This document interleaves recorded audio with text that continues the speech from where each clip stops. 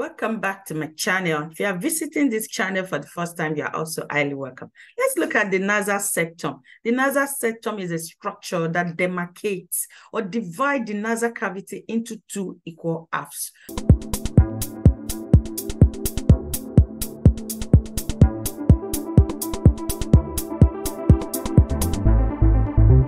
The nasal septum, as we described initially, we said it a structure that is seen to divide the nasal cavity into two halves. Using this image here, this is the region where we have the nasal cavity. And you have this structure here arrowed in black, partitioning or dividing the nasal space into two equal halves. So we have one half on the right side and we have another half on the left side.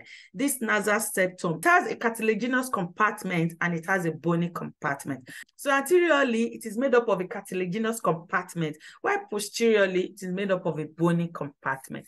Anteriorly, it is made up of hyaline cartilage. If you try to do a gross examination and you feel the anterior part of the nasal septum, you see that it is cartilaginous. Using this image down here, this is the configuration of the nasal septum. This is what divides the nasal cavity into two equal halves. And this is what is exposed here in this image. In the anterior part here that is harrowed in purple, you see that it is made up of cartilage. And specifically, it is made up of a hyaline type of cartilage. If you try to create this demarcation here, behind this space, you have the posterior compartment of the nasal septum that is made up of a bony component. It is made up of two bones. We have the perpendicular plate of ethmoid forming the superior two-third of the bony compartment or the posterior compartment of the nasal septum. And this is what is harrowed here in blue. You can see that the superior two-third of the posterior part of the nasal septum is seen to be filled with a bony structure specifically the perpendicular plate of ethmoid bone.